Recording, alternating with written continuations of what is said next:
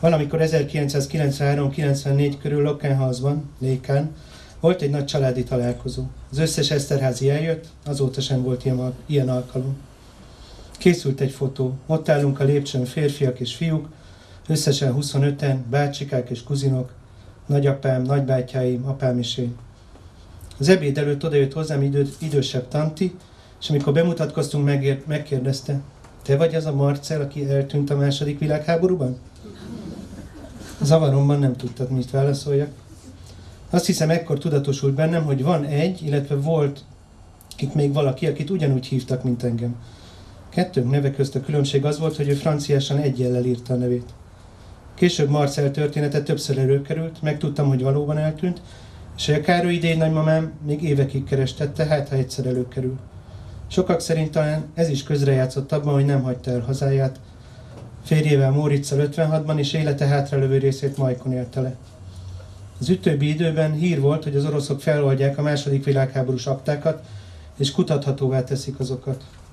Jó lenne, a végre kiderülne, mi is történt Eszterházi Marcellal valójában 25 évesen.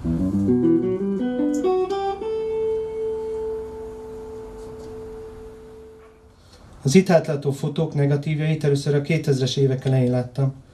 Római fürdőn édesanyámmal pakoltuk a nagy utazóládában lévő dokumentumokat, melynek egy része Majkról jött dédnagyanyám halála után. Hét darab vászonkötéses Kodak negatív tartó, melyben egyenként 100 darab, 100 darab negatívot tarthatott, tarthatott az ember 9x12-es méretben, és melynek utolsó négy lapja egy számozott, indexelhető jegyzettöm volt. Ide kerültek fel a dátumok, a helyszínek és a képeken szereplők nevei. Hamar rájöttem, hogy ezeket a dédnagymamám Károly Margit tartotta rendben, és az ő írásával kerültek dokumentálásra.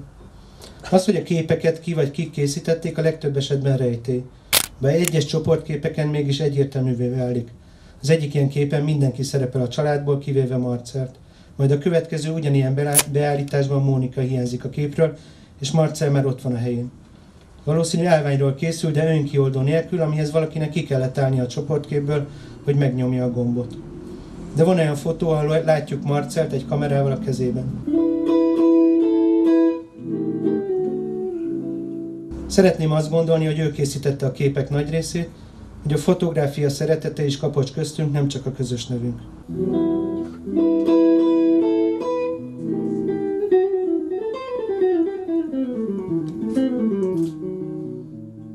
Az itt bemutatott válogatás egy apró szelete a több mint 600 negatívból álló archívumnak. Időben haladva válogattam, kezdve a 14-ben kórháza alakított kastélytól, a nagy vadászatokon át egészen a négy gyerek nagykorúvá válásáig. Szempont volt az is, hogy megmutassak olyan képeket, melyek az akkori csákváriakat mutatja.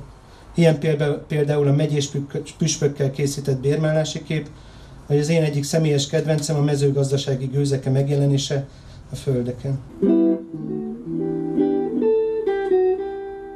Láthatjuk az életteli Majki kastélyt, és azt is, milyen volt a Csákvári kastély, amikor még a családunké volt. Szintén szerepelnek olyan képek a szelekcióban, amelyeket fotográfiailag tartottam érdekesnek. De az Eszterházen készült fotó is nagy kedvencem, ahol gondterhelt férfiak ülnek a lépcsőn, és mintha dédapámtól vár megoldást valamire. Ezek a képek az utolsó előtti pillanatban készültek, amíg még viszonylagos béke és nyugalom volt Csákváron, miközben a 30-as évektől már érezhetően közeledett valami. Ami utána jött sorozatban minden család életét keservesen megviselte. 1944-ben Móricz dédapámat a gestapo letartóztatja, 45-ben eltűnik Marcel, 51-ben kitelepítik őket Hortra, Mónika három évre koholt vádakkal Kistarcsára kerül, 1954-ben Menyhért gyermekbélulás egyik utolsó hazai áldozataként lebénul, vastüdőbe kerül és hamarosan meghal. 56 után csak nagyapám Mátyás és déd nagyanyám maradt itthon. Nagyapámnak akkor már négy gyereke volt. 57-től ad jelentéseket az állambiztonsági szolgálatnak. Néha az az érzésem, hogy én inkább a század második felében történt dolgokat tartom az örökségünk fontos részének, mivel valamit kezdenünk kell, tovább mesélnünk és legfőbbképpen megértenünk. De nem lehet látni az egészet, ha csak egy részét vizsgáljuk a dolgoknak. Így az itt látható anyag és a családunk előző generációnak története ugyanúgy fontos. Ha megkérdezik, honnan való a családom, én általában Galánta helyett Csákvárt szoktam mondani. Ha télen kérdezik Majkot, mégiscsak könnyebb fűteni a kisebb kastélyt. Szóval mi, most élő Eszterháziak, úgy vagyunk csákváriak, hogy sosem éltünk itt. Innen származunk, innen köt, ide kötnek nem csak a tárgyi emlékeink, hanem a családi történetek is. Az itt bemutatott, bemutatott képek ebben nyújtanak be pillantást. Hogy az Eszterházi név mögött nem csak falak vannak, kastályok és névtáblák, hanem emberek, egy család, családi kapcsolatok, drámák és tragédiák. Mm.